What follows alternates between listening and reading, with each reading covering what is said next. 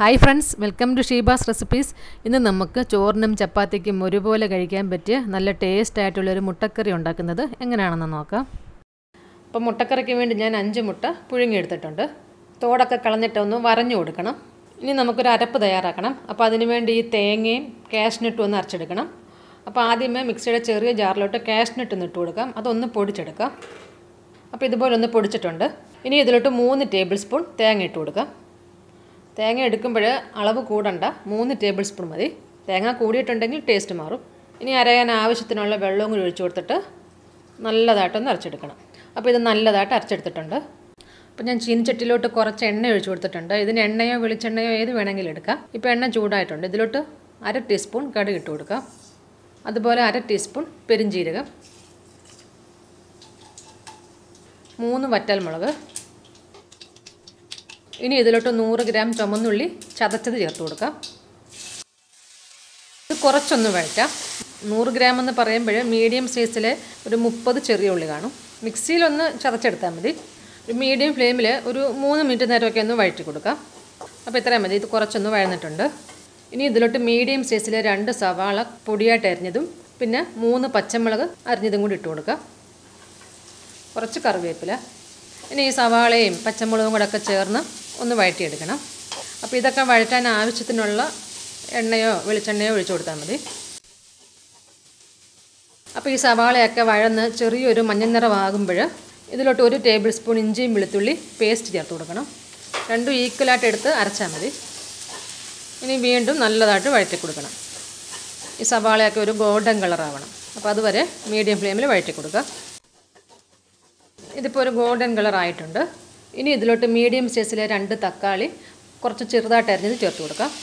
അതുപോലെ കുറച്ച് മല്ലിയില. ഇനി ഈ തക്കാളിയും ഒക്കെ നല്ലതായിട്ടൊന്ന് വഴറ്റിയെടുക്കണം. നല്ലതായിട്ടൊന്ന് കുഴഞ്ഞ പരുവാകണം അതുവരെ വഴറ്റണം. ഇപ്പോൾ തക്കാളിയൊക്കെ ഇവിടെ നല്ലതായിട്ട് വഴന്ന് എണ്ണയൊക്കെ തെളിഞ്ഞിട്ടുണ്ട്. ഇനി ഇതിലോട്ട് ഒരു ടീസ്പൂൺ കുരുമുളക് പൊടി ഇട്ട് കൊടുക്കാം. രണ്ട് ടീസ്പൂൺ മുളക് പൊടി. മുളക് പൊടി നിങ്ങളുടെ എരിവിനനുസരിച്ചെടുക്കാം അതായത് എരിവ് വേണ്ടുന്നവർ വറ്റൽമുളകിന്റെ പൊടി ഇടാം. അല്ലെങ്കിൽ പിരിയമുളക് പൊടി ഇട്ടാൽ മതി. രണ്ട് ടീസ്പൂൺ മല്ലിപ്പൊടി ഒരു ടീസ്പൂൺ ഗരം മസാല അതുപോലെ കാൽ ടീസ്പൂൺ മഞ്ഞൾപ്പൊടി. ഇനി ലോ ഫ്ലെയിമിൽ വെച്ചിട്ട് ഈ പൊടികളുടെ പച്ചമണം പോകുന്നിടം വരെ ഒന്ന് ഇളക്കി കൊടുക്കാം. ഒരു രണ്ട് മിനിറ്റ് നേരമൊക്കെ ഒന്ന് ഇളക്കി കൊടുക്കാം. ഇപ്പോൾ ഇതിന്റെ പച്ചമണമൊക്കെ പോയിട്ടുണ്ട്. ഇനി നമുക്ക് ഈ അരച്ച് വെച്ചത് ചേർത്ത് കൊടുക്കാം. ഇനി ഇത് ശകല നേരം ഒന്ന് വഴറ്റാം.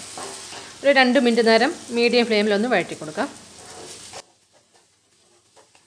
ഇതിപ്പോൾ രണ്ട് മിനിറ്റ് ആയിട്ടുണ്ട്. ഇനി ഇതിലോട്ട് കുറച്ച് ചൂടുവെള്ളം ഒഴിച്ചു കൊടുക്കാം. ആവശ്യത്തിനുള്ള ഉപ്പ്.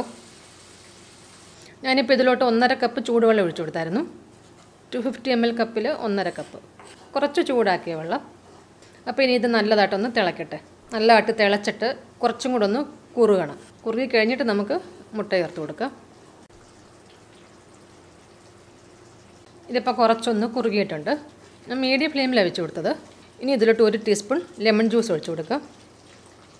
അപ്പോൾ നിങ്ങളെടുത്ത തക്കാളി ഒരുപാട് പുളിക്കുന്നതാണെങ്കിൽ ലെമൺ ജ്യൂസ് ചേർക്കണ്ട.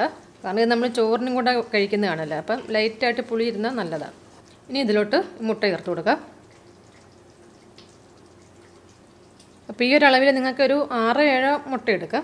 അപ്പോൾ ഈ ഗ്രേവി ഇതിന്റെ മുകളിലോട്ടൊന്ന് ഒഴിച്ചു കൊടുക്കുക. അപ്പോൾ ഈ സമയത്ത് ഒരു മീഡിയത്തിന്റെയും ലോ ഫ്ലെയിമിന്റെ ഇടയിലിട്ടാൽ മതി.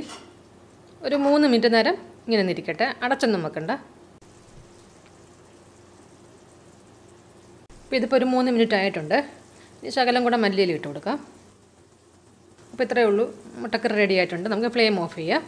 അപ്പോൾ ഇത് ചോറിനും ചപ്പാത്തിക്കും ദോശയ്ക്കും ഒക്കെ നല്ല ടേസ്റ്റ് ആയിരിക്കും കഴിക്കാൻ എളുപ്പം തന്നെ നമുക്ക് ഉണ്ടാക്കിയെടുക്കാനും പറ്റും. നല്ല കുറുകിയ ചാറായിട്ടുണ്ട്. അപ്പോൾ എല്ലാവരും ഒന്ന് ട്രൈ ചെയ്ത് നോക്കണം. വീഡിയോ ഇഷ്ടമായെങ്കിൽ ലൈക്ക് ചെയ്യാനും ഷെയർ ചെയ്യാനും ഒന്നും മറക്കരുത്. പിന്നെ നിങ്ങളുടെ കമൻസും ഒക്കെ അറിയിക്കണേ. താങ്ക്